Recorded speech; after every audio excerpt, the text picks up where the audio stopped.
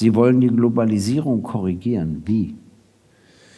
Ähm, das, was mich im Augenblick stark stört, ist, dass wir uns immer so Feindbilder suchen. Im Augenblick ist China das große Feindbild. Wir sagen, wir müssen doch jetzt mit China komplett, so ähnlich wie mit Russland, komplett unsere wirtschaftlichen Beziehungen abbrechen, äh, ohne zu realisieren, dass das ein Ding der Unmöglichkeit ist. Und meine Sorge ist nicht, dass wir zu viel Globalisierung haben.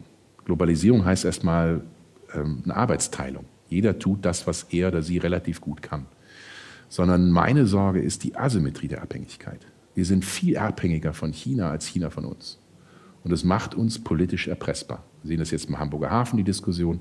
Wir sehen das mit Huawei, die für uns die 5G-Netze bauen wollen äh, und wo wir realisieren, wollen wir das wirklich? Und ähm, also sprich, ähm, wir haben über 70 Jahre ein Wirtschaftsmodell verfolgt, das sehr stark auf Offenheit, auf Exporte fokussiert ist und realisieren nicht, dass wir uns hier in eine höchst asymmetrische Abhängigkeit begeben haben, die uns erpressbar macht. Und das zu korrigieren, also eine Globalisierung auf Augenhöhe, eine symmetrische Abhängigkeit, ist das, wo wir hin müssen.